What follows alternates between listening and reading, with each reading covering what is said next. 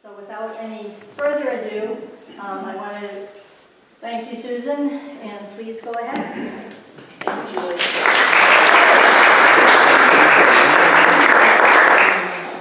Okay, so let us disinfect here, all right.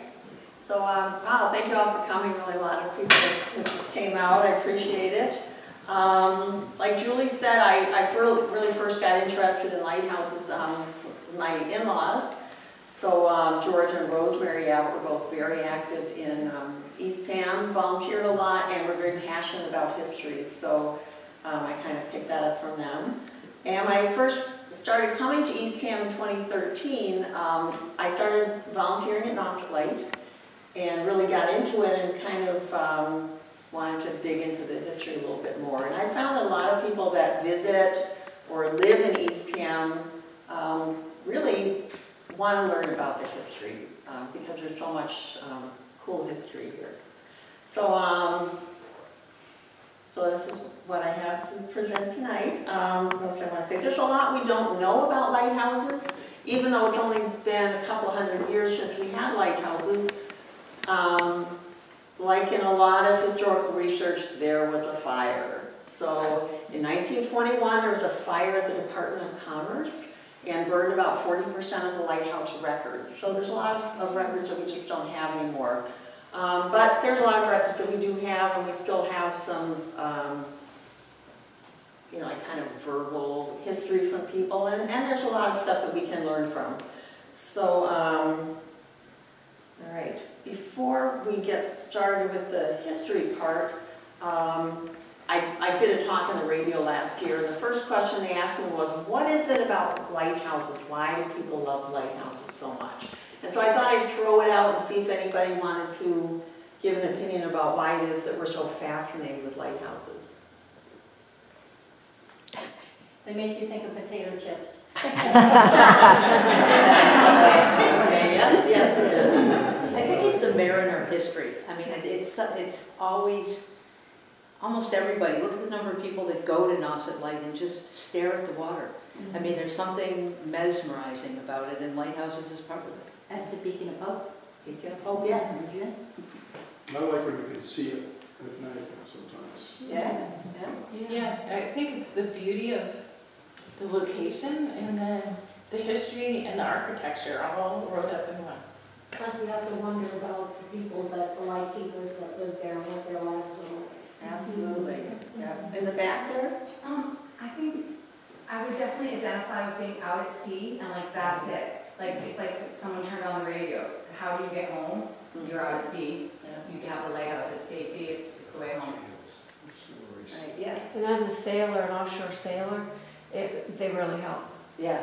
They keep us safe. And I think even now, you know, people say, well, we don't need the lighthouses anymore because we've got the GPS and the radar, but I always liken it to someone who's an airline pilot or an airplane pilot. You can fly with the instruments and not being able to see the ground, but boy, is it nice to, to have that visual clue of where you are. And so even though you may not need the lighthouse, like you said, you're a sailor, and you probably really value having those.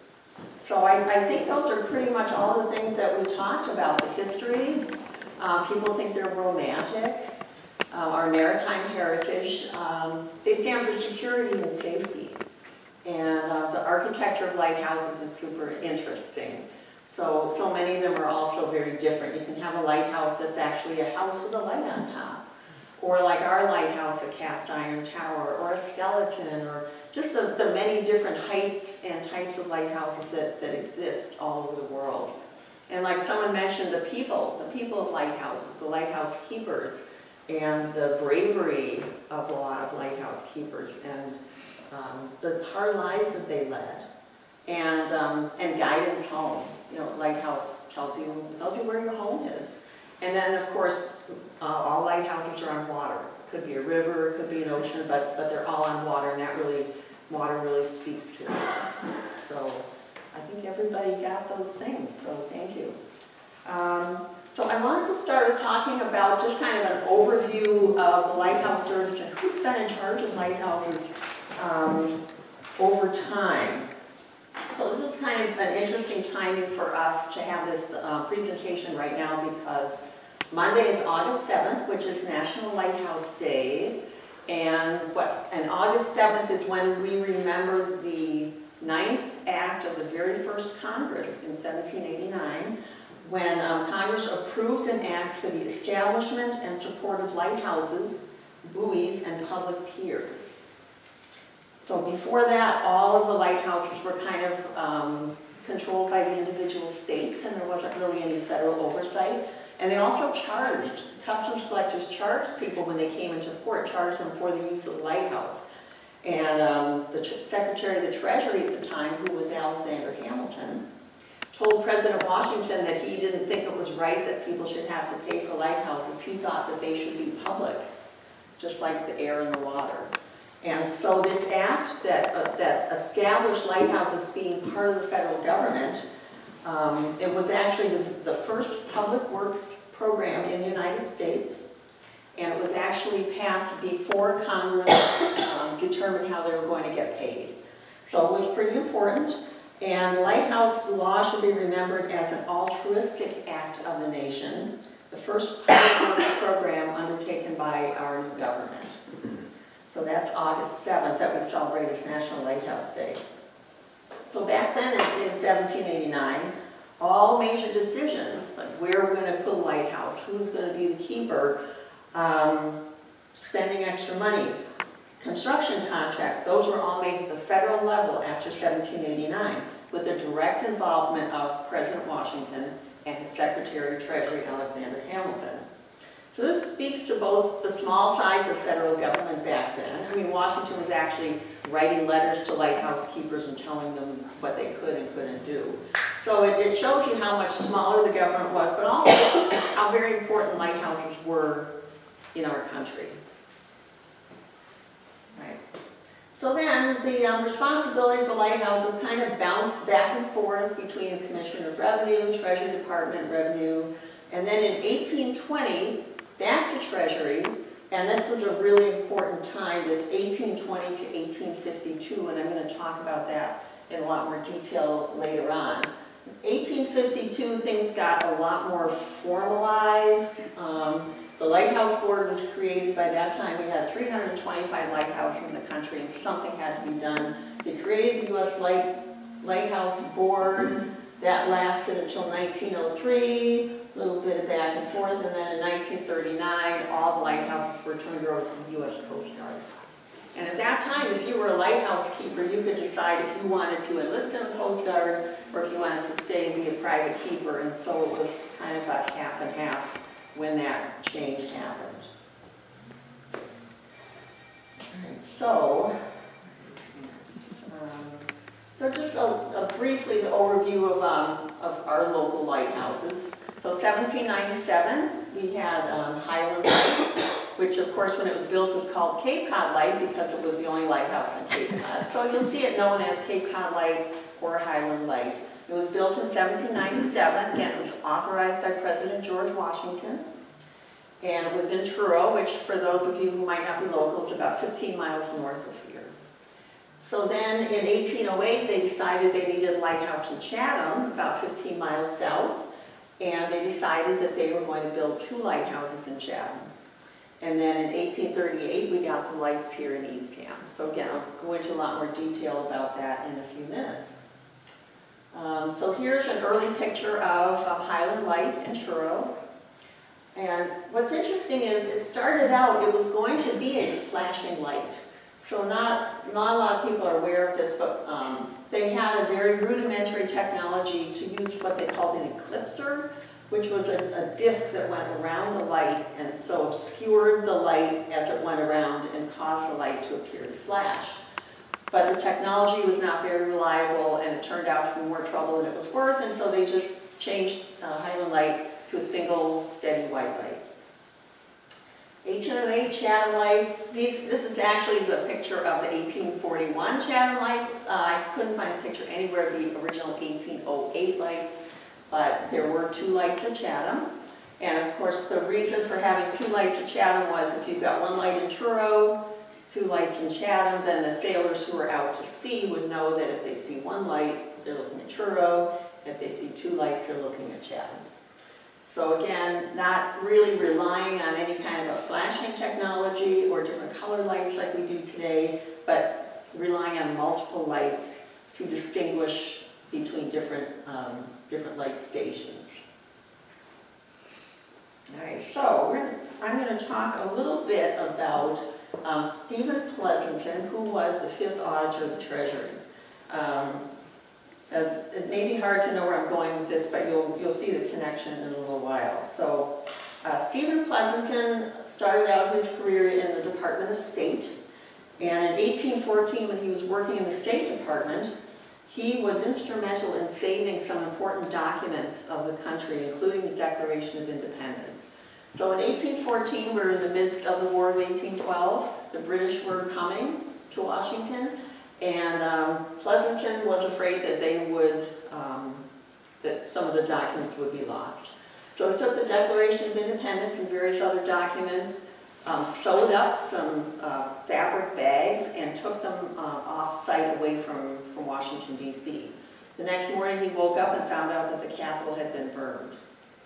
So was successful in, in saving those documents by locking them in an unused farmhouse.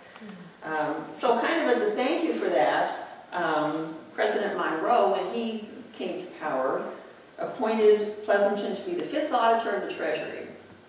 And he had uh, many different um, duties at the time, but in 1820 he was appointed superintendent of the lighthouses. Now, Stephen Pleasanton didn't really know anything about lighthouses. He didn't have any maritime experience. He didn't know anything about engineering. He didn't know anything about building. His chief purpose in life was to return as much money as possible back to the treasury. He was very much a penny pinching guy. He took a lot of uh, pride in the fact that, that he was always returning money to the treasury. So that was, was his thing. So when it came to lighthouses, Pleasanton relied on the customs collectors. So each port had a customs collector, and they were kind of like the local lighthouse overseers. And he also relied on the contractors who, who did the various lighthouse work.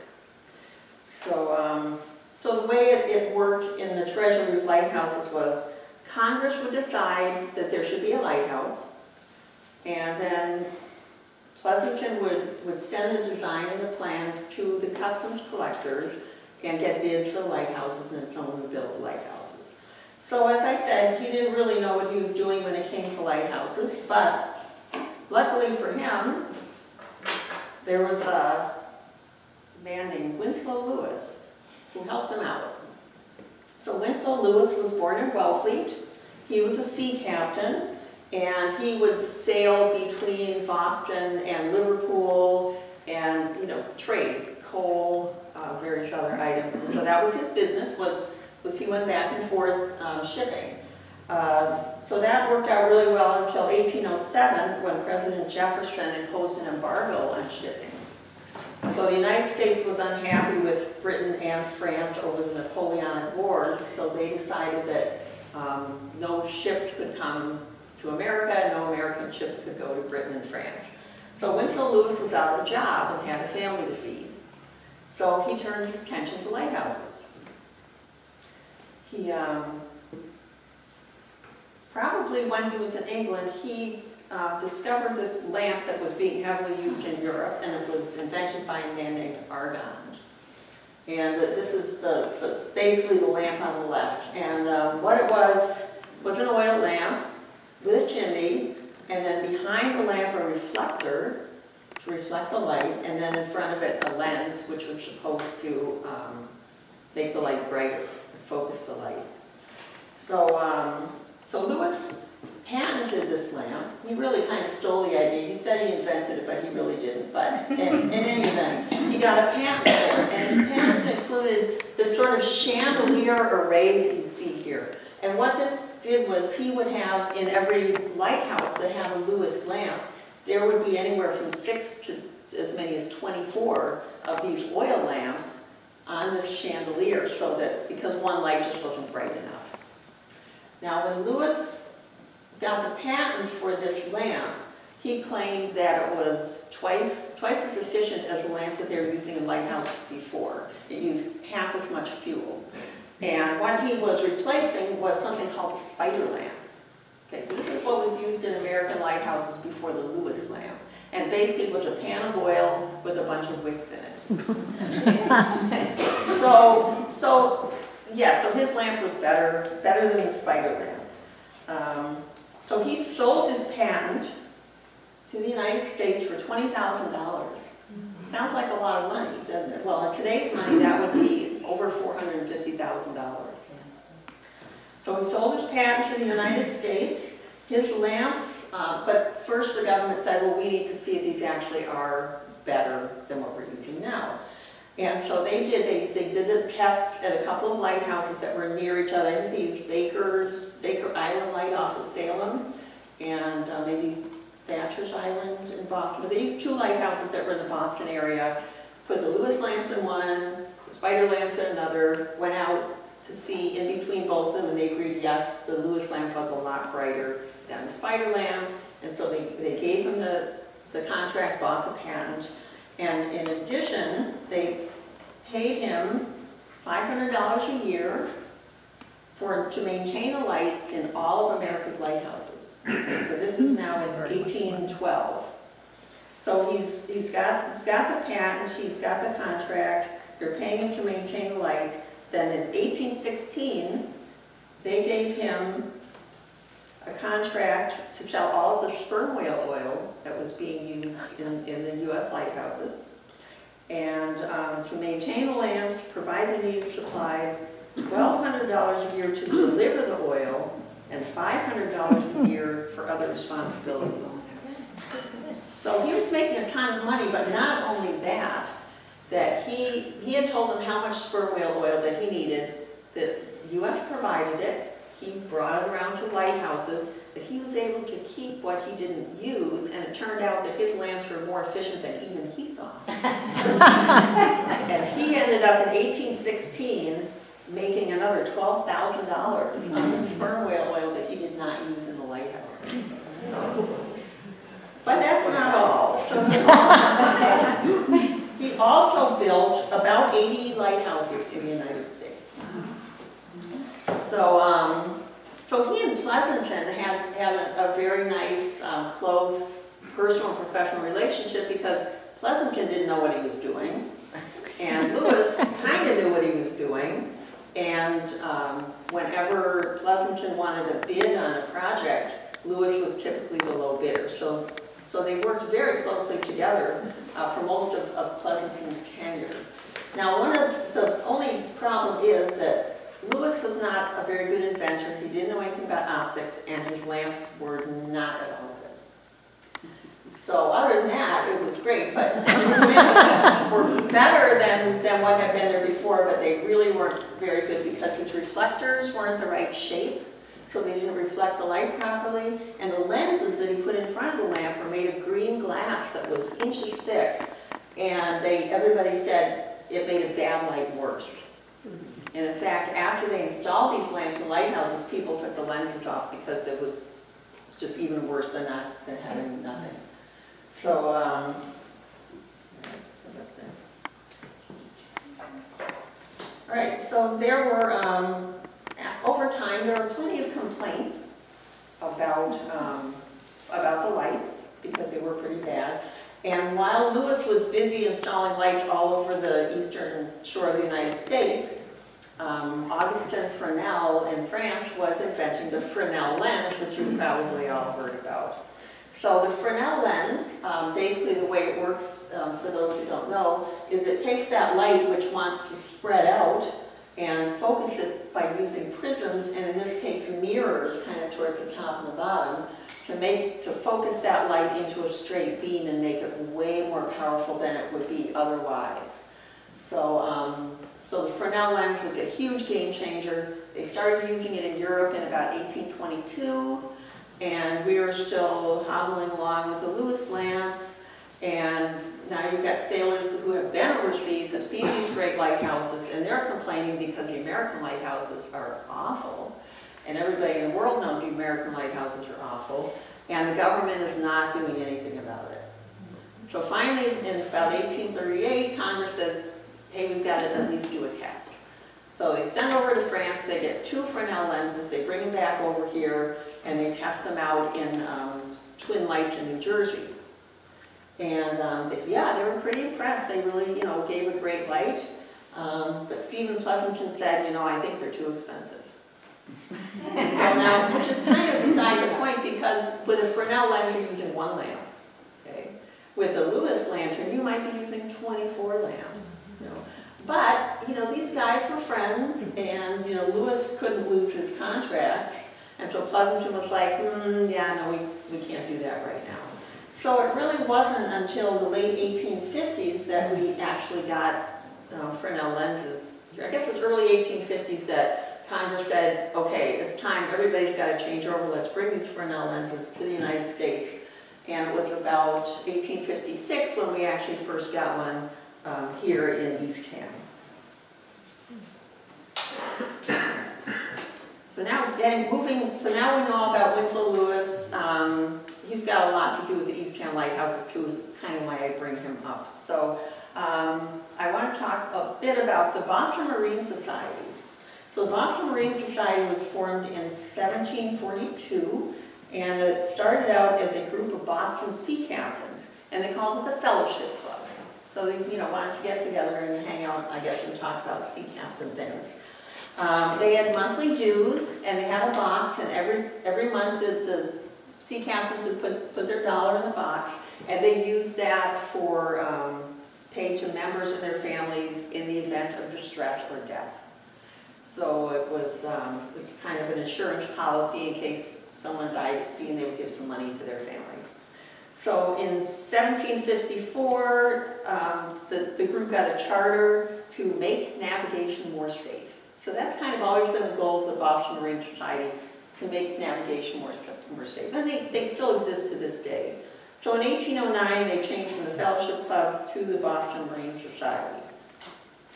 All right, so now in 1837, we have Congress, re- there's been so many lighthouses built, and they're building them all over the place, and everybody's asking for a lighthouse, and they said, okay, we're going to appoint a board of naval commissioners, and we're not giving any more money for lighthouses until these naval commissioners examine the site and determine if you need to have a lighthouse there. So this is just about the time uh, when the people in Eastham are thinking that we want to have a lighthouse. So um, in 1836, the people of Eastham, because we've had so many shipwrecks, um, just right here along Nauset Beach, um, decided that we really need a lighthouse here. Not so much for the ocean-going vessels, because they could see the two lighthouses. They could see the Truro Light, they could see the Chatham Light. But if you're really close to shore in Eastham, the way the cape is curved, you can't see those other two lighthouses. And so there were a lot of local fishermen who were being lost, who were being killed, because there was no lighthouse in Eastham. So the people in Eastham went to Boston, they talked to the folks of the Boston Marine Society and petitioned them for a lighthouse. So a committee from the Boston Marine Society came out to Eastham, looked around and said, yes, we agree, and we recommend that you have three lighthouses at this beach. So um, Boston Marine Society went to Congress and said, you know, we'd like to put three lighthouses at Nauset Beach, um, contingent on getting the okay from the naval commissioners. They had to have that okay. So who did they send? They sent Mad Jack Percival. So you might have driven by the cemetery here in West Barnstable. It's right there on 6A. Um, Captain John Percival uh, was in the U.S. Navy, and he was famous for commanding um, USS Constitution, Old Ironsides, on a voyage around the world. Um, that was in his, his later years, but this was one of his jobs, was to go to Eastham and see if we really needed to have a lighthouse here. And he thought it was a good idea to have three lighthouses, and so um, let's do that. So there were some people who um, thought it was maybe not a good idea to have any lighthouses. In fact, one of the um, early keepers, Benjamin H.A. Collins, who went, actually went to Boston to talk to the Marine Society, said he encountered obstinate resistance to the project of building a lighthouse on this coast as it would injure the wrecking business.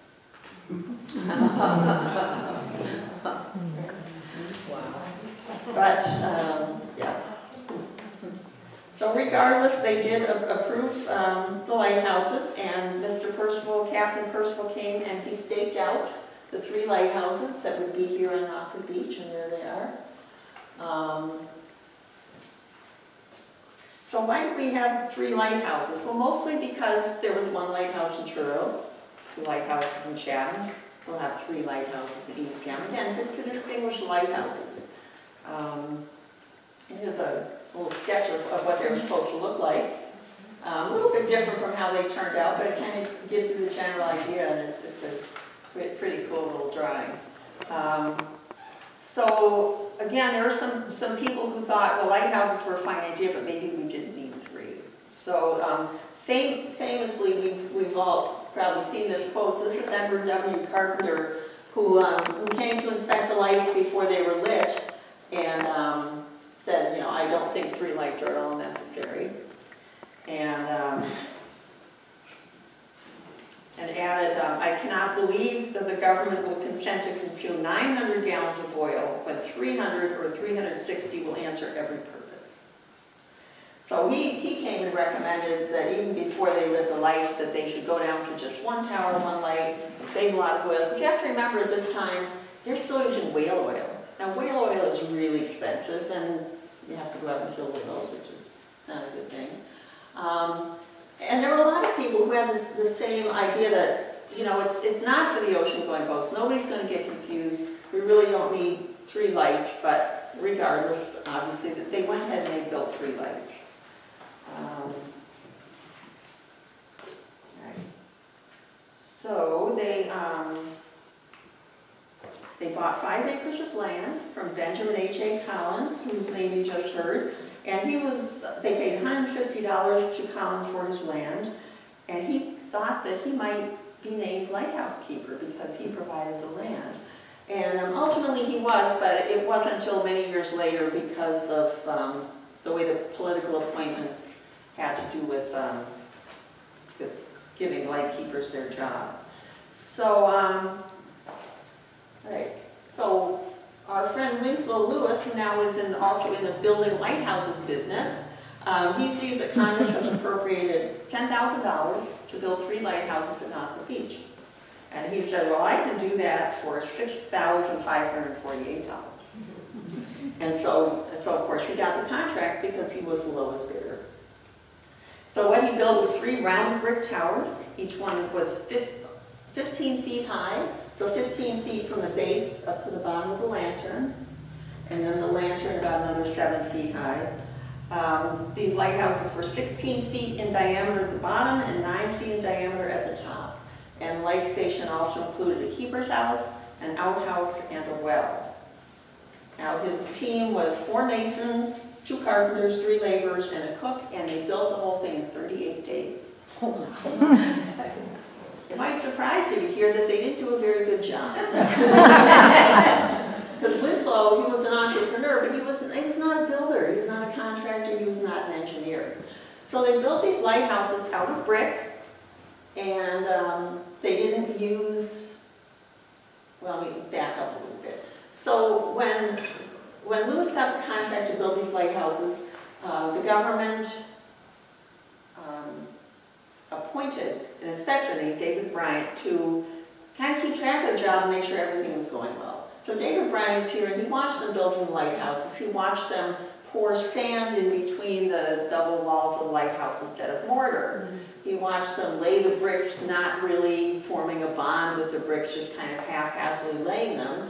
And to make matters worse, Lewis decided that he didn't like where Percival had staked out the lighthouses because the land was uneven and he would have to pay more for materials. So he moved the lighthouses closer to the bluff so that he could make them all line up without spending more money for materials. So uh, David Bryant, who was here to oversee the project, when they asked him to sign off on it, he said, I don't think it's a very good job. I can't, I can't sign off on it. So the customs collector called to Boston and said, you know, what's the problem? He said, I don't think it's very good. And the customs collector said, well, Mr. Pleasanton said it's fine. so, that was the, so that was the end of that. Um, Each one of these towers has one of those chandelier arrays with 10 of the Winslow Lewis lamps on it. So here's another picture. It's the same lighthouses. They look really different in the different photos, but they're kind of just two different um, views. So you can see here now, this particular photograph was taken after 1875 because the keeper's house, which still exists today, was built in 1875. You can see the original keeper's house, the 1838 keeper's house right there, and of course the three towers. Okay, here's a, a close-up of the keeper's house. Now this keeper's house was built in 1875. This was the, we think, the first house built in this style. So the, the government had come up with a plan, plan, a blueprint for a keeper's house that ended up being used during the 1870s and 1880s. And this was probably the first one. And then we see that around the area, we've got the one in Stage Harbor, same design. Um, West Chop, it's been updated a little bit, but the same design. Um, that's the one Bob I was talking about, Eastern Point Lighthouse in Gloucester. And then um, Nobska Light in Woods Hole. A little bit different today because they got a second lighthouse, and, or keeper's house, and their keeper's houses are connected. So it looks like a totally different house, but you can see it's the same, the same as ours. So um, one of, one of our, our board members, um, Jared Fulcher, has done a lot of research on the keeper's houses, and he's found um, 21 instances of these lighthouses with uh, 13 of them still standing. So they're all over the place. Um, here's a little floor plan, so they all, they had six rooms, so three on the first floor, uh, three bedrooms upstairs, uh, there was an outhouse, they didn't have their own bathroom, um, central chimney. So, um, right, here's an 1885 survey that's just, again, showing the light station. So now we've got the three towers, at the bottom, the original keeper's house, in the middle, the new keeper's house, and at the top, a barn and the hen house, various outbuildings. And over here is a little building that has to do with the cable station, which I don't have time to get into today, so we'll move along. Um, just another sketch of this um, survey from 1885 showing, showing the layout um, of the light station. Okay. So, um, even though these towers were not very well built, they did last until 1892. And what happened in 1892 was they just got too close to the edge. So, um, so in 1892, they decided that they needed to replace the, the lighthouse, because you couldn't move them, you couldn't pick up a pile of, of bricks and move it back. So they decided to replace them with three wooden lighthouses. So the idea being that a wooden lighthouse would be easier to pick up and move when it needed, needed to happen. And what I discovered was when they built these wooden lighthouses, they only built them 30 feet to the west of the, the brick lighthouses. Not, probably not a very smart idea. I mean, they knew, knew that erosion was coming, but, but that's what they did. So, um, so it was 1892, they built the three wooden lighthouses, and sure enough, by 1911, they had to move them. Um, Right. so they, um. And, oh, I'm gonna go back here and say, at the same time that they built, um, the 1892 lighthouses, they built an oil house. So in the 1800s, kerosene is starting to become the fuel of choice for lighthouses. And kerosene turns out to be a whole lot more volatile and flammable than the um, lard oil that they had been using in the past. So the Lighthouse Bureau uh, recommended that all land-based lighthouses have an oil house um, on site. That would be the only place that they could keep the fuel because they were keeping the fuel in the tower, in the keeper's house, in the barn, whatever. Um, probably not a very smart idea. So this is a photo of, of the Nauset um, oil house. And it's got a vent in the top, you know, so that fumes don't build up. And, um, okay, so in 1911, Where it sits now. Um, they just, the- again, erosion, 1911, they decide they need to move lighthouses back, sure enough, and finally decide that, I guess they didn't need three lighthouses after all. Um, So they took the north and the south towers, set them aside for a bit, and then took the center tower, it was called the Beacon by then, they moved it and attached it to the keeper's house, it had a a little entryway that connected it to the keeper's house, and they fitted it up with a revolving light. I've used a clockwork mechanism, so the keeper had to wind up the clockwork. And then, just like a grandfather clock, the chains would come down, causing the light to go around. And they set it up so that it would flash three times every 10 seconds.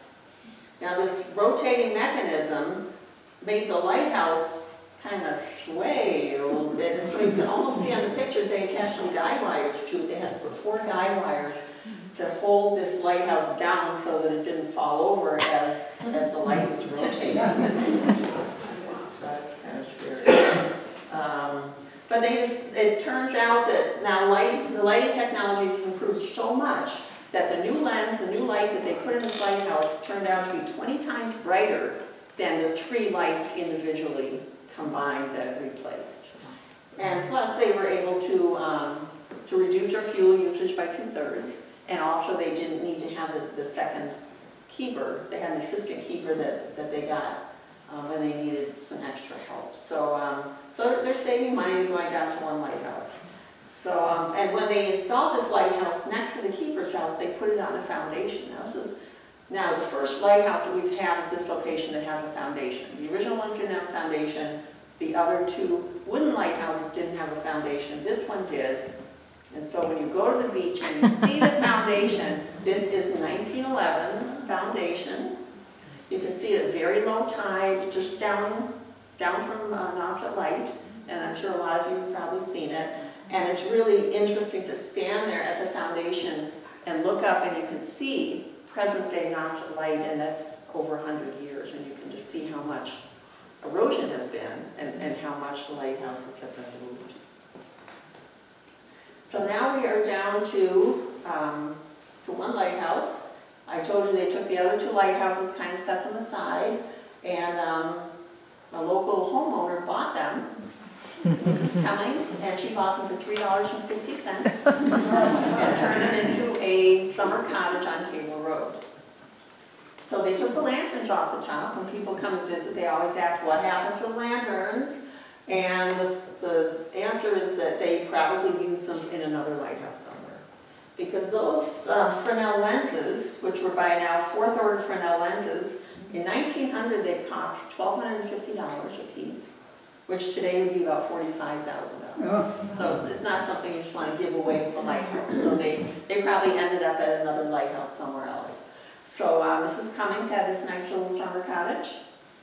And later on, it was used as a, a dance camp in the summertime.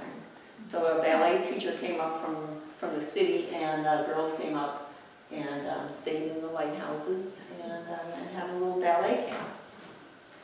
So um, now going back to Chatham for a moment. So these are the 1877 lighthouses in Chatham. Again, they still have the, their two lighthouses. Uh, these are cast iron lighthouses uh, with brick linings. And by 1923, that one single wooden lighthouse in East Eastham was starting to get a little bit old. And again, they're trying to get rid of some of these multiple light stations to save money. They weren't using the North Tower in Chatham, so they decided to disassemble it and move it to East Eastham. So they actually took these rings of cast iron apart, um, probably put it on a truck, and drove it over from uh, Chatham to East Eastham, reassembled it next to the keeper's house and put a new brick lining in it. When you go to the Nauset Light today, you'll see it has a yellow brick lining, and the one at Chatham still has its red bricks. So there's a picture of the light station with the brand new 1923 light. And then, of course, in about 1940, they painted the top red. So, And, and again, that was to distinguish. That was so in the daytime, um, you could tell that this was that this was Eastham. So, um, looking in, into cast iron lighthouses, I've been trying to find out a little bit about where our cast iron lighthouse comes from, because it turns out there's many lighthouses in New England that are exactly the same design. Okay. Um, Edgartown Harbor Light, which is brought from Ipswich. Um, Nobska Point Light, exactly the same design. Novel Light, same design. Portsmouth Harbor Light, Race Point. Um, lots of lighthouses that are these stacked cast iron lighthouses, some of them taller or shorter because they're modular and you can get as many rings as you wanted to. Um, the people in Nobska say that their lighthouse was made in a foundry in Chelsea I haven't really been able to find out anything about ours. I know that some lighthouses were made in the foundry in South Boston.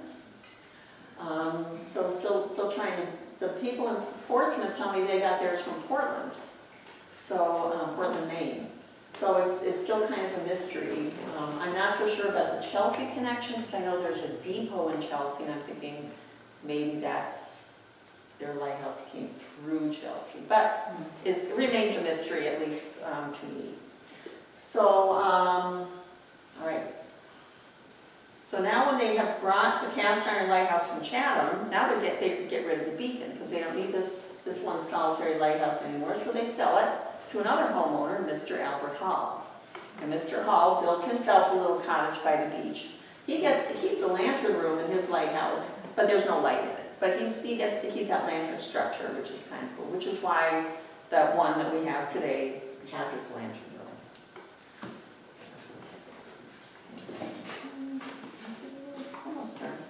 So um, when the national park came in 1960, they realized that they had this kind of unique treasure because this is the only surviving triple light station in the United States. So in 1965, they bought the um, two lighthouses that were owned by the Cummings family. They were not in very good shape by then.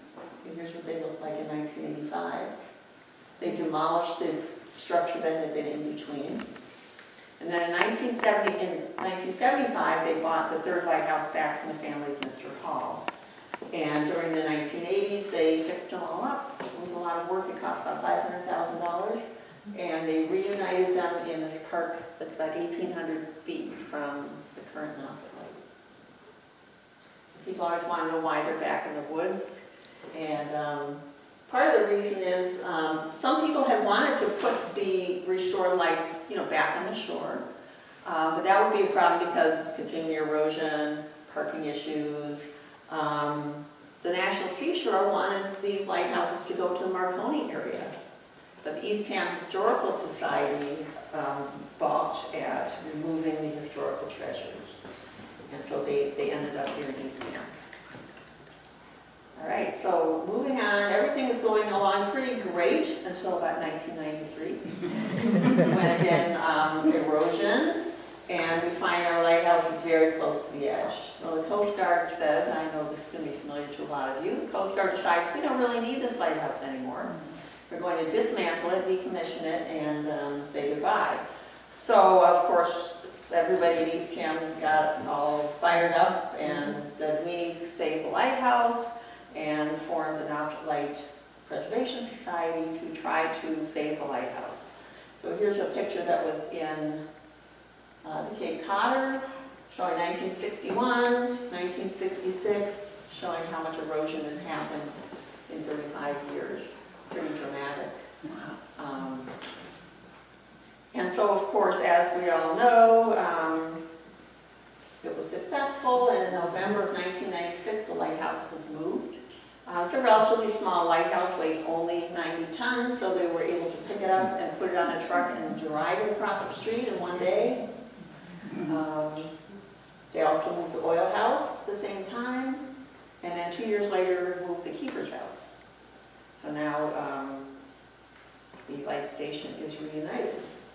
We have this really interesting erosion graph that people like to look at when they visit uh, the Three Sisters. So it shows that yellow dotted line was the coastline in 1890, or um, yeah, 1890.